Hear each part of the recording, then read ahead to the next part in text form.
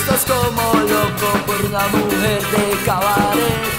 Aunque si no quieras llamarla una puta, ella es. Ella es una mujer que no tiene vida propia. La manda a los demás y ella se